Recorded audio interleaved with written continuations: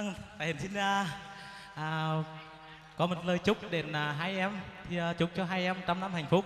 À, có lẽ là cùng à, những cái dịp hiếm hoi mà thầy được về đấy thì cùng hy vọng là ở xà nhà huyện nhà có thật nhiều chương trình để thầy được về giao lưu cùng với ba con cô bác. Tình cảm thân thương quê hương vẫn là số 1 à, à chứ ba con có thể dành cho thầy một trang của tay nữa được không ạ? Vâng thầy xin chúc cho à, toàn thể hội trường có một à, bữa tiệc thật vui thật ngon miệng ạ.